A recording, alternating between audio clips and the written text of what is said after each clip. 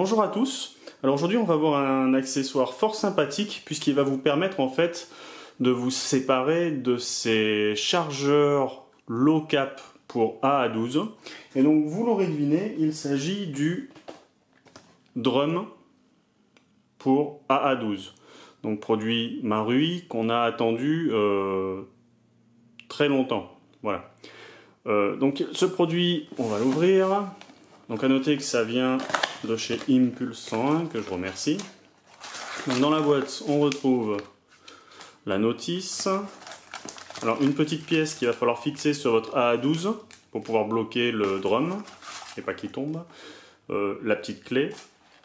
Et hop, ce magnifique, n'ayons pas peur des mots, magnifique drum. Donc on va le voir un peu plus près. Donc euh, finition au top. On voit les cartouches. Non, franchement, c'est vraiment, euh, joli. Je pense que ça fera quelque chose euh, d'assez sympathique une fois monté.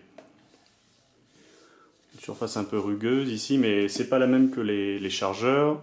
Le petit bouton pour le faire fonctionner. Là, on met les billes. On verra après où est-ce qu'on met les piles.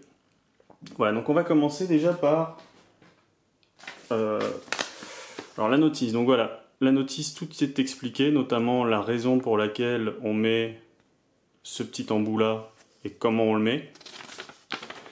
qui vous permet en fait de verrouiller le ici là voilà de verrouiller le, le drum là, on voit qu'il faut 4 piles, on les mettra après.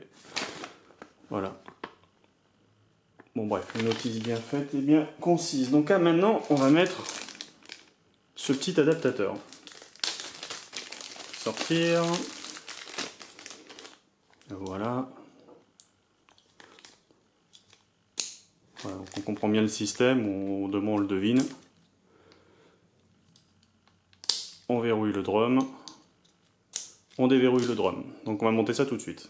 Donc une fois que vous avez dévissé cette petite pièce, vous voyez ça, alors qui est en plastique, ça c'est peut-être dommage, mais bon on va faire avec. Il suffit juste de l'insérer tout bêtement comme ça, voilà. Et après, ce que vous faites, c'est qu'on va mettre l'autre pièce ici, comme ceci, et remettre la vis.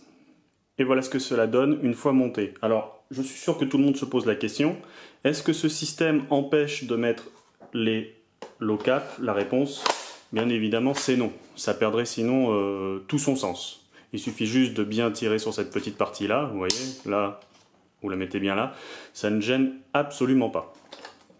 Donc maintenant, on va pouvoir mettre ce fameux drum. Alors comment procède-t-on? Déjà la première chose à faire, cette petite pièce-là, effectivement, il faut rentrer comme ça pour pouvoir le mettre. Ensuite, ça marche à peu près comme les mags normaux, low cap. On le glisse là. Voilà. Et alors, cette pièce-là, hein, elle sert vraiment à, comme vous pouvez le voir, elle ne touche pas le mag. On la bloque, voilà, comme ça. C'est juste qu'au cas où, si jamais vous relâchez ici par inadvertance, ça vous évite en fait que le drum tombe par terre. C'est juste une sécurité, ça reste là. Pour le reste, quand vous voulez le retirer, vous mettez ça en arrière, vous voyez, ça tombe pas tout seul. Hein. Il faut... Hop là J'ai pas assez de force dans les doigts, il faut bien, voilà, bien appuyer pour relâcher. On verrouille et à partir de là, on peut aller jouer. Et ça donne quelque chose d'assez... Ouais, d'assez massif. Alors, pour les piles, en fait, vous avez un petit... Voilà. Vous voyez cette petite pièce-là? Vous la tirez en arrière et vous tournez comme ceci. Et comme ça, on retire le couvercle. Donc, comme vous pouvez voir, hein, tout est ici. Le petit, petit toulet de verrouillage. Et hop là, le compartiment à pile qui se trouve juste ici. Voilà. on remet le compartiment à pile. Franchement, rien de plus simple. Ça, c'est vachement... Le compartiment à pile, mine de rien, j'ai un drum Sima RPK. Euh, c'est le jour et la nuit, quoi. Voilà, donc on remet le couvercle. Et voilà, on est verrouillé.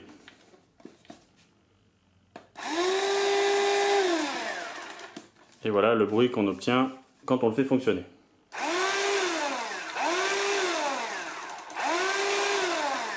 Par contre, c'est vrai qu'au niveau du bruit, euh, c'est pas très... C'est pas très silencieux, j'ai l'impression d'entendre un petit aspirateur à main Black Decker, mais bon, tant que c'est efficace,